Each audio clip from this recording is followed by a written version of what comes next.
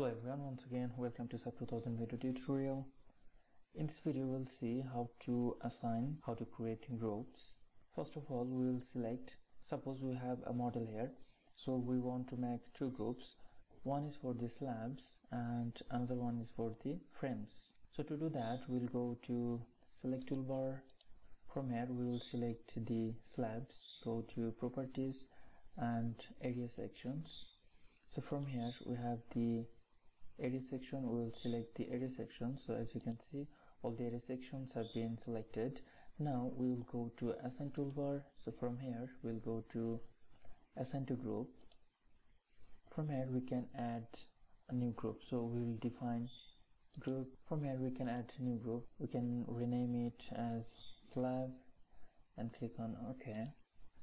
Okay so as it is slab we'll click apply and then okay after that once again we'll select now the frames. We'll go to select toolbar then go to properties and then frame sections. So from here we have only one frame section. We'll select all the frame sections close so we can see all the frame sections have been selected. Now once again we'll go to assign. So from here we'll go to assign to group we'll create another group so we'll add new group so we'll rename it as we'll click on ok. Okay so we'll select the frame and we'll click apply. And then okay so how can we see our groups? We'll go to select. From select we'll go to groups. So from here we have two group frame and sub. So if you select the frame we'll click on select.